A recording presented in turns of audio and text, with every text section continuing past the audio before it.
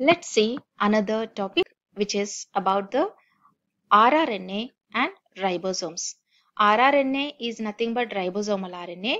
Ribosomal RNA is integral part of the ribosomes and majority of them that means 80% around 80% of RNA in the cell is nothing but rRNA only. And this rRNA it is the part of the ribosomes along with ribonucleoproteins are present. Okay? They are nucleoproteinaceous particle. Nucleo means nucleic acid is present. Which nucleic acid is present? Ribosomal rna is present and they are proteinaceous. Which proteins are present? Ribosomal proteins are present. And these ribosomes they are there are two types of ribosomes. One or they are freely present in the cytoplasm for example, if this is the nucleus, the ribosomes are present freely, which are called as free ribosomes, or they may be attached to the endoplasmic reticulum. Suppose if this is the endoplasmic reticulum, the ribosomes are attached to the endoplasmic reticulum. This is called as rough endoplasmic reticulum because the ribosomes are studded on this one. Okay, the ribosomes are present either freely or attached to the endoplasmic reticulum. And there are two types of ribosomes. They are prokaryotic ribosome and eukaryotic ribosomes. Prokaryotic ribosomes are called as 70S type of ribosomes. Eukaryotic ribosomes are called as 80S type of ribosomes. S is nothing but the Svedberg units which tells us how fast the organelle or the particle gets sedimented in an ultracentrifuge. Okay, the prokaryotic ribosomes are 70S and eukaryotic ribosomes are 80S. Each ribosome, whatever it may be, either prokaryotic or eukaryotic, eh, they contain two subunits. One is the smaller subunit, another one is larger subunit. Larger subunit and smaller subunit. Both are united to form the ribosomes. Let's see first the prokaryotic ribosomes which are 70S type of ribosomes. So the 70S type of ribosomes I told you they are divided into smaller subunit as well as larger subunit. The smaller subunit is called as 30S type of ribosome 30S smaller subunit is present and the larger is 50S larger subunit is present. This is 50S. Each of them is again made of what? Ribosomal RNA plus ribosomal proteins, each subunit. Likewise here also ribosomal RNA plus ribosomal proteins are there.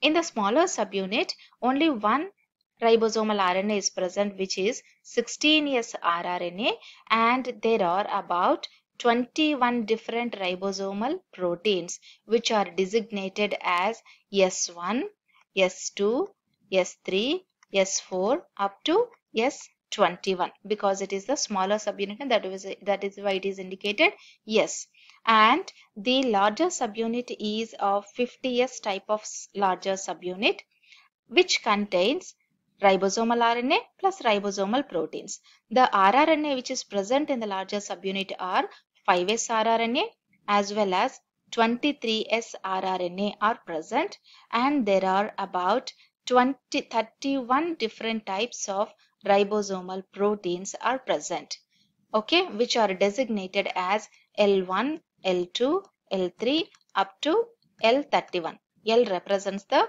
larger subunit. Okay, this is again the 70s ribosomal uh, ribosomes which contains total proteins of 54. We have seen in our previous case that there are 21 proteins in the smaller subunit and 31 proteins in the larger subunit. Together it has to come to 52 but there are 54 proteins are present. Y means duplicate number of L5 and L12 proteins. They are present in two copies. That is why 54 ribosomal proteins are present in the prokaryotic ribosomes. And the ratio between the ribosomal RNA and ribosomal proteins is two thirds of ribosomal RNA is present. Only one third of ribosomal proteins are present in case of prokaryotic ribosomes. And any ribosome, whatever it may be, either prokaryotic or eukaryotic, they are rich in basic amino acids like lysine and arginine. That is why these ribosomes, they are positively charged. These ribosomal proteins are positively charged. That is why they could able to bind to the negatively charged rRNA molecules as well as mRNA and tRNA molecules because of the positive charge which is present on the ribosomal proteins. And magnesium ion, bivalent metal ions like magnesium is required for the binding of the two subunits. In order to bind these two subunits, what is required? Magnesium ion concentration is also very crucial. 80S ribosomes are present in the eukaryotes and these 80S ribosomes, they are again divided into large, smaller subunit and larger subunit. The smaller subunit is 40S type of smaller subunit, larger subunit is 60S type. Each is again made of ribosomal RNA and ribosomal proteins. Whatever it may be, either smaller subunit or larger subunit, both are made of ribosomal RNA and ribosomal proteins. The smaller subunit contains 18S rRNA and 30 different proteins are present in the smaller subunit. Coming to the larger subunit, larger subunit is 60S type which contains 3 rRNAs. What are they? 5S rRNA, 5.8S rRNA and 28S rRNA are present which also contains around 50 proteins. So together in case of the 80S type how many proteins are present?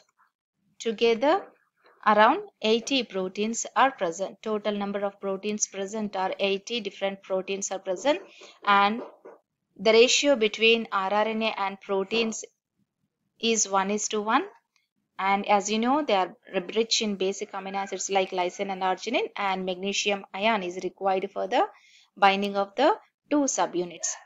Whatever the case of ribosome, the ribosome contains two hypothetical sites. One is A site, another one, another site is the P site.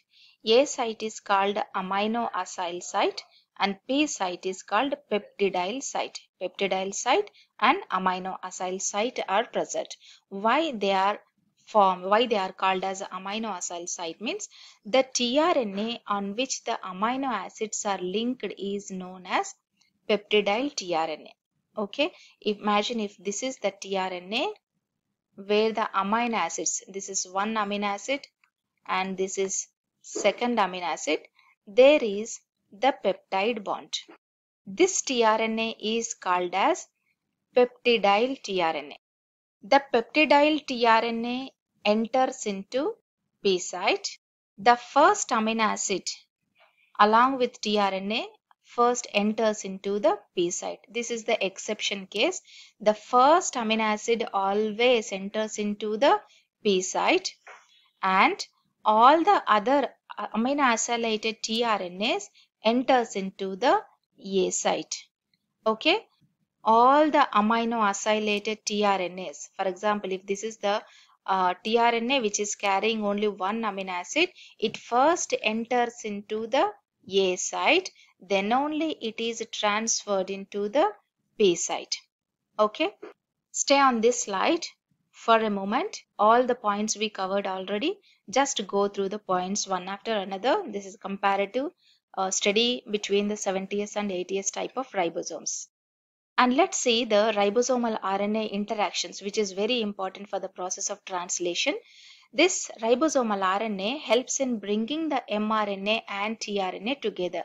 Why it is uh, bringing together means because of the positively charged proteins. I told you that ribosomal proteins are rich in lysine and arginine which are positively charged. This positive charge attracts easily the uh, rRNA, mRNA as well as tRNA. And the 5' end of the mRNA contains a 7 nucleotide sequence called AGG-AGGU which is called as Shine-Dalgarno sequence. Here this is mRNA which contains the Shine-Dalgarno sequence AGG AGGU for example if the, this is imagine this is called as Shine-Dalgarno sequence why it is important means it helps in the binding of the 16S rRNA that means to the 30S subunit the mRNA can easily bind. This is imagine 16S rRNA and the above is Shine-Dalgarno sequence. Shine-Dalgarno sequence is complementary to the 16S rRNA, thereby enables binding of mRNA to the 30S subunit. The same is mentioned here. 16S rRNA contains a complementary sequence. That is why it binds to the smaller subunit. Likewise, 16S rRNA and 23S rRNA also contain some complementary sequences forming 16S 23S hybrid which helps in bringing the smaller and larger subunits together. Suppose imagine if this is the 16S 16S rRNA which helped in the binding of the mRNA. The same 16S rRNA also helps the binding of larger subunit because 16S rRNA is complementary. Some of the sequences are complementary to the 23S rRNA. Thereby helps in the binding of both the smaller and larger subunit. Okay, 16S rRNA also provides binding site for the tRNA also. It helps in the binding of the tRNA here. Okay, so the 16S rRNA does three functions. It binds to the Shine-Dalgarno sequence to which is present on the mRNA. It also has some complementary sequences to the 23, 23S rRNA and it also has a binding site for the uh, tRNA also. All these functions, these are the interactions of rRNA with different types of subunits as well as mRNA and tRNA how the rRNA is interacting with mRNA and tRNA. Likewise, initiation factor which is required in the process of translation, it has it is a protein factor. It has some affinity with the 16S rRNA which helps in the initiation of the translation. Another important point is GTψC. Where it is present? It is present on the tRNA and for this sequence, for this GTψC, a complementary sequence called CAAG is present. Where it is present? It is present on the 5S rRNA. 5S rRNA, where it is present? It is present in the larger subunit. Imagine, uh, listen, in the larger subunit, two are present. 5S rRNA is present and 23S rRNA is present. In the smaller subunit, 16S rRNA is present. Okay. Okay, so here the 5S rRNA is important for the binding of the charged tRNA to the ribosome. Okay. Okay, these are the ribosomal RNA interactions with different molecules like it interacts with the proteins, it interacts with the smaller subunit, it interacts with the mRNA as well as tRNA, thereby bringing all of them. That means ribosomes provide a platform uh, here to, to in order to provide the platform it has it has some different binding sites okay all different complementary sequences like uh, CAAG sequence is present on the 5S rRNA Shine-Dalgarno sequence is present on the mRNA for which complementary sequence is present on the 16S rRNA likewise it 16s rRNA interacts with the 23s rRNA, thereby binding of the smaller and larger subunit are facilitated. So all these interactions they facilitate for proper functioning or proper synthesis of the proteins. Till now we have seen the ribosomal RNA and ribosomes together both we have seen both the prokaryotic ribosomes as well as eukaryotic ribosomes. Hope you understood very well.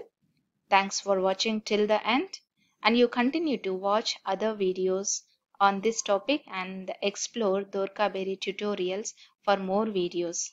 Thank you.